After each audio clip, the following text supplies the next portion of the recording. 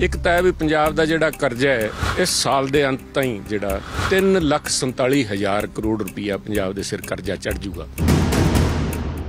ਮੁੰਗੇਰੀ ਲਾਲ ਵਾਲੇ ਸੁਪਨੇ ਵਾਲੀ ਗੱਲ ਹੈ ਵਿਸ਼ਫੁਲ ਥਿੰਕਿੰਗ ਹੈ। ਪੱਲੇ ਨਹੀਂ, ਧੇਲਾ ਕਰਦੀ, ਮੇਲਾ ਮੇਲਾ, ਅਜ ਤਾਈਂ ਤੇ ਆਉਣ ਵਾਲੇ ਸਮੇਂ ਦੇ ਵਿੱਚ ਤਾਂ ਜਿਹੜੇ ਆਲਰੇਡੀ ਐਗਜ਼ਿਸਟਿੰਗ EMPLOYEES ਹੈ, ਤਨਖਾਹ ਦੇਣ ਦੇ ਪੈਸੇ ਇਹਨਾਂ ਕੋਲ ਨਹੀਂ ਬਣਨਾ। ਢਾਈ ਘੰਟੇ ਬੋਲੇ, ਗੱਲ ਤਾਂ ਇਹਨਾਂ ਨੇ ਸਾਰੀਆਂ ਹੀ ਕੋਈ ਛੱਡੀ ਨਹੀਂ, ਸਾਰਾ ਕੁਝ ਇਹਨਾਂ ਨੇ ਕਰਤਾ। ਇੱਕ ਜਿਹੜੀ ਗੱਲ ਇਹਨਾਂ ਨੇ ਨਹੀਂ ਕਹੀ ਉਹਦੇ ਵਿੱਚ, ਇਸ਼ਤਿਹਾਰਾਂ ਦੇ ਉੱਤੇ ਕਿੰਨੇ ਪੈਸੇ ਲਾਏ ਹੈ?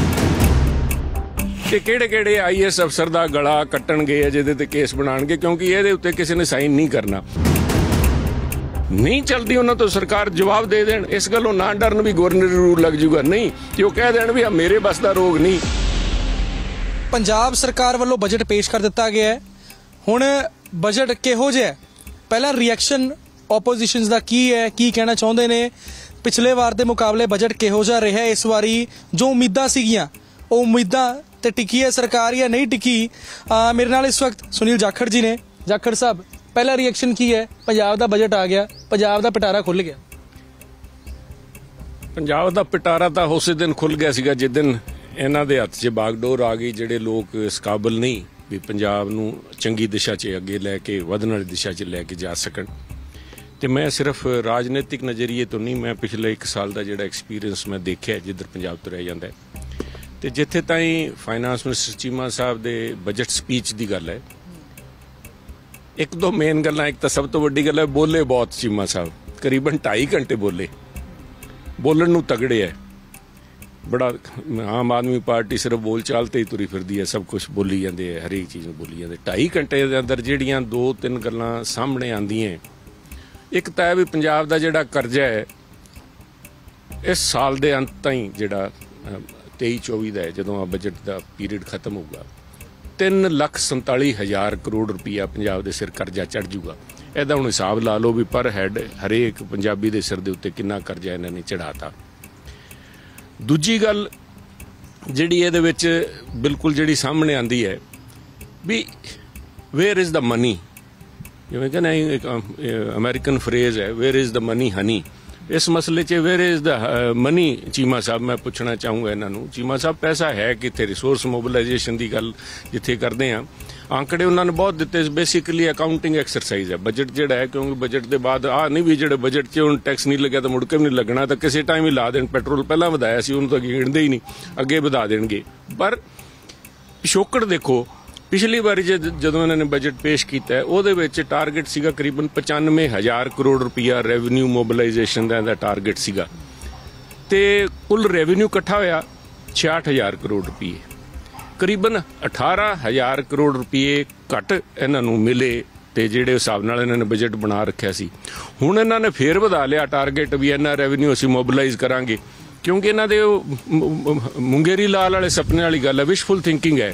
ਵੀ ਅਸੀਂ ਇੰਨਾ ਕੁ ਵਧਾ ਲਾਂਗੇ ਜੀ। ਪਹਿਲਾਂ ਕਹਿੰਦੇ 20000 ਕਰੋੜ ਰੁਪਇਆ ਅਸੀਂ ਮਾਈਨਿੰਗ 'ਚੋਂ ਲਿਆਵਾਂਗੇ ਜੀ। ਇੰਨਾ ਹਜ਼ਾਰ ਵਧਾ ਲਿਆਂਗੇ ਸ਼ਰਾਬ ਵੇਚ ਕੇ ਵਧਾ ਲਾਂਗੇ। ਬਿਲਕੁਲ ਇਹਨਾਂ ਦੇ ਅੰਕੜਿਆਂ ਦੇ ਮੁਤਾਬਕ ਐਕਸਾਈਜ਼ ਪਾਲਿਸੀ ਦੇ ਵਿੱਚ ਕਹਿ ਰਹੇ ਕਰੀਬਨ 45 ਜਾਂ 46% ਸਾਡਾ ਵਾਧਾ ਹੋਇਆ ਹੈ। ਇਹ ਤਾਂ ਆਪਣੀ ਪਿੱਠ ਠੋਕ ਰਹੇ ਆ ਵੀ ਦੇਖੋ ਬੜਾ ਬਹਾਦਰੀ ਕੀਤੀ ਹੈ। ਮੇਰੇ ਵਾਸਤੇ ਬੜਾ ਚਿੰਤਾ ਦਾ ਵਿਸ਼ਾ ਹੈ। ਵੀ ਪੰਜਾਬ ਨੂੰ ਕਿਹੜੀ ਦਿਸ਼ਾ 'ਚ ਲੈ ਕੇ ਜਾ ਰਹੇ ਆ? ਪੰਜਾਬ ਦੀ ਡਿਵੈਲਪਮੈਂਟ ਅਗਰ ਸਾਰੀ ਦੀ ਸਾਰੀ ਦਾਰੂ ਵੇਚ ਕੇ ਪੰਜਾਬ ਨੂੰ ਡਿਵੈਲਪ ਕਰਨਾ ਸਾਹਿਬ ਮੈਂ ਇਹ ਜੀ ਡਿਵੈਲਪਮੈਂਟ ਦੇ ਖਿਲਾਫ ਹਾਂ। ਪਰ ਕੋਈ ਡਾਇਰੈਕਟ ਬੈਨੀਫਿਟ ਪਾਲਿਸੀ ਕੋਈ ਲੱਗੀ ਤੁਹਾਨੂੰ ਕਿ ਕੁਝ ਲੋਕਾਂ ਨੂੰ ਡਾਇਰੈਕਟ ਬੈਨੀਫਿਟ ਹੋਏ ਕਿਸੇ ਚੀਜ਼ ਦੇਖੋ ਸਭ ਇਹ ਤਾਂ ਬੈਨੀਫਿਟ ਤਾਂ ਉਦੋਂ ਹੋਊਗਾ ਨਾ ਜਦੋਂ ਇਹਨਾਂ ਦੇ ਕੋਈ ਕੋਈ ਜਿੱਥੇ ਕਿਤੇ ਪੈਸਾ ਹੋਊਗਾ ਪੱਲੇ ਨਹੀਂ ਧੇਲਾ ਕਰਦੀ ਮੇਲਾ ਮੇਲਾ ਅਜ ਤਾਈਂ ਤਾਂ ਜਿਹੜੇ ਆ ਅੱਜ ਗਿਣਾ ਰਹੇ ਇੰਨੀ 26000 ਨੌਕਰੀਆਂ ਦੇਤੀਆਂ। ਆਉਣ ਵਾਲਾ ਸਮਾਂ ਇੰਨਾ ਮਾੜਾ ਹੈ ਸਭ ਤੁਸੀਂ ਦੇਖੋਗੇ ਆਉਣ ਵਾਲੇ ਸਮੇਂ ਦੇ ਵਿੱਚ ਤਾਂ ਜਿਹੜੇ ਆਲਰੇਡੀ ਐਗਜ਼ਿਸਟਿੰਗ EMPLOYEES ਹੈ ਤਨਖਾਹ ਦੇਣ ਦੇ ਪੈਸੇ ਇਹਨਾਂ ਕੋਲ ਨਹੀਂ ਬਣਨਾ। ਮੈਂ ਆ ਨਹੀਂ ਕਹਿੰਦਾ ਵੀ ਇਹਨਾਂ 1000 ਕਰੋੜ ਰੁਪਇਆ ਦਿੱਤਾ, ਉਹ ਕਹਿੰਦੇ ਸੀ 1000 ਰੁਪਇਆ ਦੇਾਂਗੇ ਸਾਰੇ ਆਪਣੀ ਬੱਚੀਆਂ ਨੂੰ ਦੇਾਂਗੇ ਹਰੇਕ ਮਹਿਲਾਵਾਂ ਨੂੰ ਮਿਲੂਗਾ।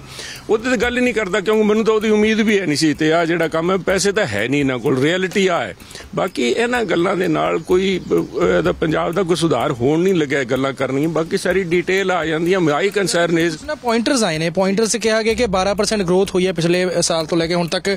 ਪੰਜ ਇੰਡਸਟਰੀਅਲ ਪਾਲਿਸੀਜ਼ ਲੈ ਕੇ ਆਏ ਨੇ ਵਾਟਰ ਟੂਰਿਜ਼ਮ ਪਾਲਿਸੀ ਹੈਗੀ ਪੰਜਾਬ ਪਾਰਕ ਪਾਲਿਸੀ ਹੈਗੀ ਇਲੈਕਟ੍ਰਿਕ ਵਹੀਕਲ ਪਾਲਿਸੀ ਹੈਗੀ ਇਸੇ ਤਰੀਕੇ ਨਾਲ 80 ਤਰੀਕੇ ਦੀ ਹੈਲਥ ਦੀ ਗੱਲ ਕਰ ਲਈ 80 ਤਰੀਕੇ ਦੀ ਦਵਾਈਆਂ ਜਿਹੜੀਆਂ ਨੇ ਉਹ ਮੁਹੱਈਆ ਹੋ ਰਹੀਆਂ ਨੇ ਮੁਹੱਲਾ ਕਲੀਨਿਕਾਂ 'ਚ।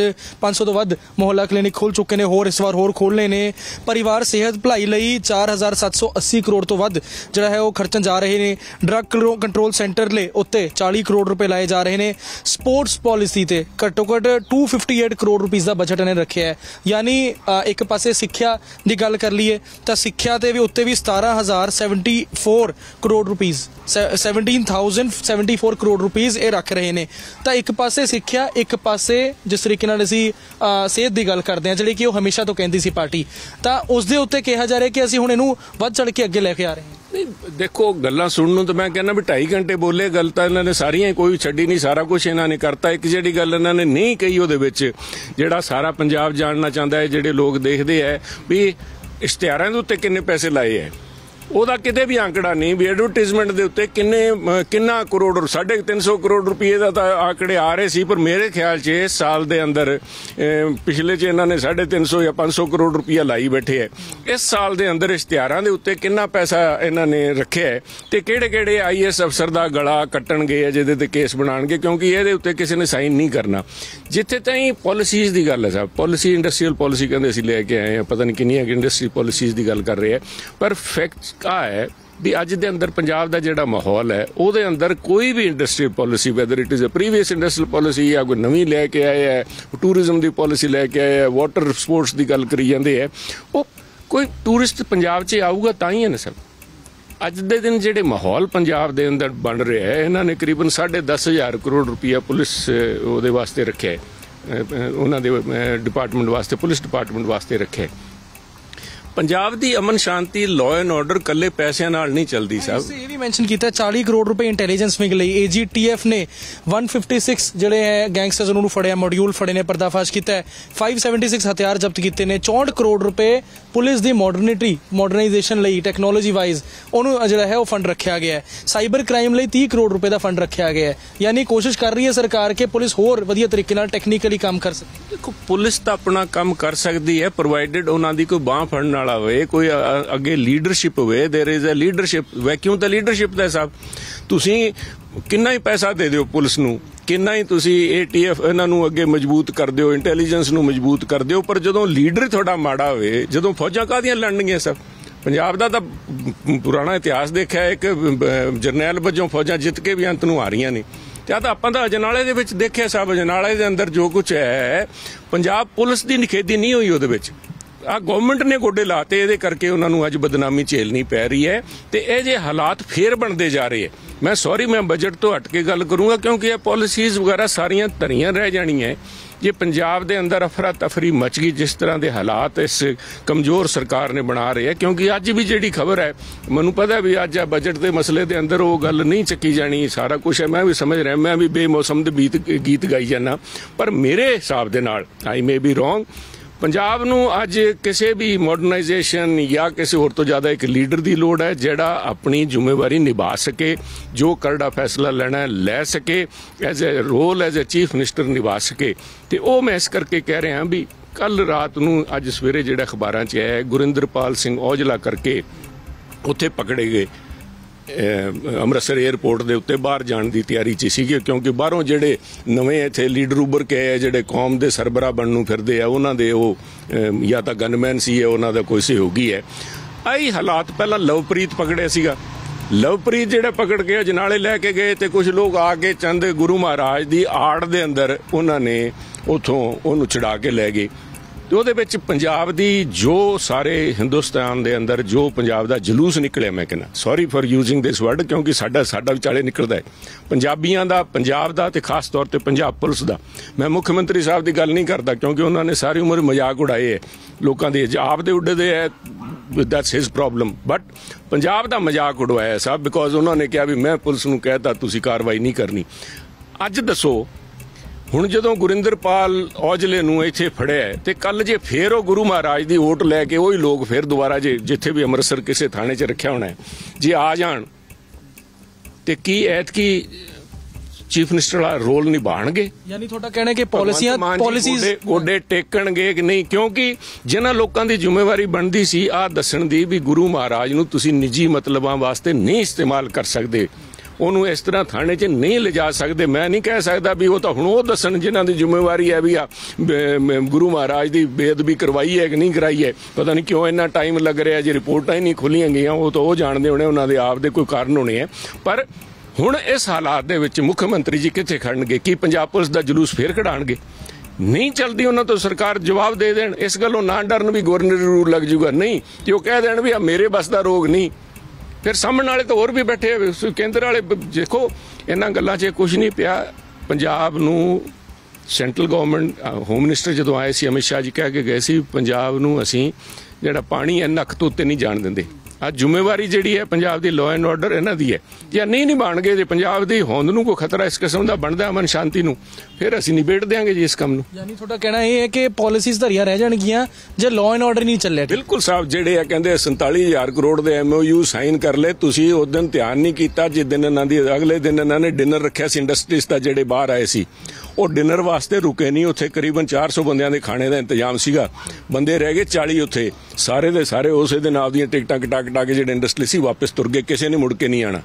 ਜੇ ਇੱਕ ਅੱਧੀ ਫੋਟੋ ਫੇਰ ਅਜਨਾਲੇ ਵਾਲੀ, ਜਿਸ ਤਰ੍ਹਾਂ ਅੰਦਰ ਥ- ਥਾਣੇ 'ਚ ਐਂਟਰ ਹੋਏ ਐ ਤੇ ਡਾਂਗਾ ਤੇ ਕਿਰਪਾਨਾਂ ਤੇ ਰਾਈਫਲਾਂ ਲੈ ਲੈ ਕੇ। ਤੇ ਉਹਦੇ ਬਾਅਦ ਪੰਜਾਬ 'ਚ ਮੈਂ ਨਹੀਂ ਸਮਝਦਾ, ਨਾ ਟੂਰਿਜ਼ਮ ਪਾਲਿਸੀ ਲਾਗੂ ਹੋਣੀ, ਨਾ ਉੱਥੇ ਇੰਡਸਟਰੀਅਲ ਪਾਲਿਸੀ ਲਾਗੂ ਹੋਣੀ। ਪਹਿਲਾਂ ਅਮਨ ਸ਼ਾਂਤੀ ਬਹਾਲ ਕਰੋ। ਭਗਵੰਤ ਮਾਨ ਜੀ, ਮੇਰੀ ਹੱਥ ਜੋੜ ਕੇ ਬੇਨਤੀ ਹੈ, ਤੁਹਾਡਾ ਆਪ ਦੀ ਵੀ you have a chance to redeem your image behave as a chief minister ਜਿਗਰਾ ਦਿਖਾਓ। ਕੋਈ ਫ਼ਰਕ ਨਹੀਂ ਪੈਂਦਾ। ਜਿਹੜੇ ਪੰਜਾਬ ਦੇ ਲੋਕ ਯਾਦ ਰੱਖਣਗੇ, ਅੱਜ ਲੋਕ ਮਜ਼ਾਕ ਉਡਾਉਂਦੇ ਆ, ਲੋਕ ਯਾਦ ਰੱਖਣਗੇ, ਕਰੜੇ ਹੋ ਕੇ ਫੈਸਲਾ ਲਓ।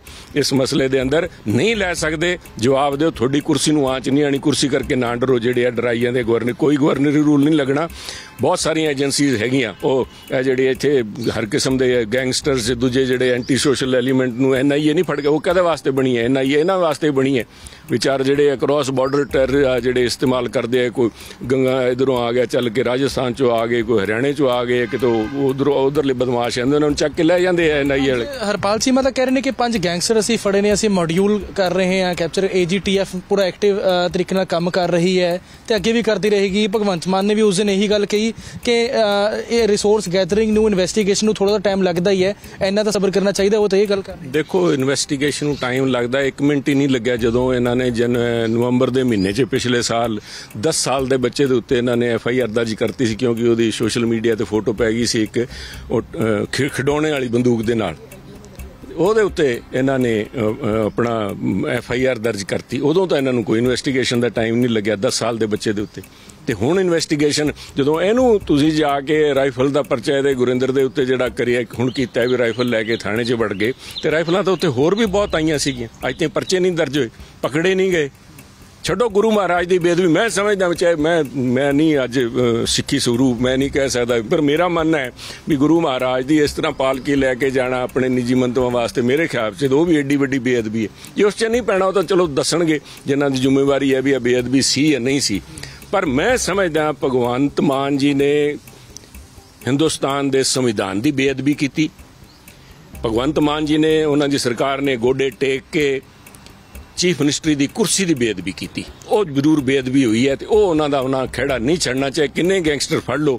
ਆ ਜਿਹੜੀ ਇੱਕ ਫੋਟੋਗ੍ਰਾਫ ਹੈ, ਜਿਹੜੀ ਵੀਡੀਓ ਹੈ ਅਜਨਾਲੇ ਥਾਣੇ ਦੀ, ਉਹ ਇਹਨਾਂ ਦੇ ਮਗਰ ਭੂਤ ਵਾਂਗੂ ਚਿਮੜੀ ਰਹੂਗੀ ਤੇ ਪੰਜਾਬ ਦਾ ਮੈਨੂੰ ਇਹਨਾਂ ਦੇ ਮਗਰ ਚਿਮੜ ਜੇ ਭੂਤ ਕੋਈ ਨਹੀਂ ਸਾਹਿਬ ਪਰ ਪੰਜਾਬ ਦੀ ਇਮੇਜ ਦੇ ਮਗਰ ਆ ਜਿਹੜਾ ਆਹ ਕਲੰਕ ਲੱਗਿਆ ਨਾ ਭੂਤ ਜਿਹੜਾ ਚਿਮੜ ਗਿਆ। ਕਿਸੇ ਇੰਡਸਟਰੀਲਿਸਟ ਨੇ, ਕਿਸੇ ਨੇ ਇੱਥੇ ਪੰਜਾਬ 'ਚ ਆ ਕੇ ਇਨਵੈਸਟਮੈਂਟ ਕਰਨ ਤੋਂ ਪਹਿਲਾਂ 10 ਵਾਰੀ ਸੋਚੂਗਾ। ਇਸ ਕਰਕੇ ਮੇਰੀ ਬੇਨਤੀ ਹੈ, ਤਕੜੇ ਹੋ ਕੇ ਉਸ ਕਲੰਕ ਨੂੰ ਉਤਾਰਨ ਦੀ ਕੋਸ਼ਿਸ਼ ਕਰੋ। ਆ ਇੱਕ ਯੂਜ਼ ਇਟ ਆ ਜਿਹੜਾ ਗੁਰਿੰਦਰਪਾਲ ਵਾਲਾ ਜਿਹੜਾ ਹੁਣ ਮਸਲਾ ਹੋਇਆ use it as a opportunity ਵੀ ਆਪਣੇ ਆਪ ਦੀ ਪੋਜੀਸ਼ਨ ਨੂੰ ਰਿਡੀਮ ਕਰੋ, ਭਗਵੰਤ ਮਾਨ ਜੀ, ਮੈਂ ਆ ਕਹਿਣਾ ਚਾਹੁੰਦਾ।